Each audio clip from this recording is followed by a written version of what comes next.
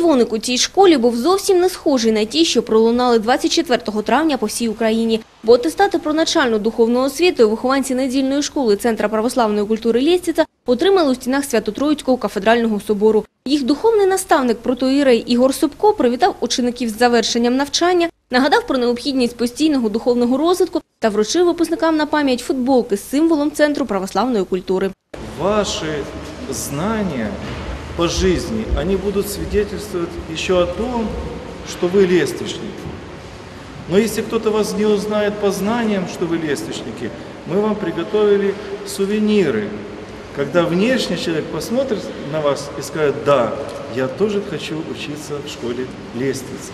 У поточному році атестати вручили 20 вихованцям недільної школи. У їх навчальній програмі були священне писання, історія церкви, літургіка та катехизис. Випускники зізнаються, наука в недільній школі дуже різниця від звичайної світської. Тут вчать доброті, бути уважними до близьких і друзів, а також турботливими і ввічливими, бо сучасний світ просто поглинає черствість, байдужість і жорстокість. Э, Я считаю, что современным людям не хватает милосердия.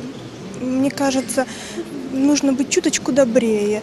И я считаю, что больше внимания нужно уделять своим родным, близким. Если посмотреть на современный мир, то люди зачастую не понимают друг друга. То есть кто-то постоянно что-то требует, протестует. То есть у людей нет чего-то объединяющего. Завершення навчального року для школярів завжди хвилююча пора. Нарешті позаду уроки і завдання, а попереду класний відпочинок та необмежене спілкування з друзями. А учнів недільної школи Лєствіця чекає ще й нагорода за відмінну науку. У липні за благословінням владики Іринеї юні паломники здійснять подорож святими містами. Вони відвідують Оптину пустош, Троїця Сергієву Лавру та Дівієво.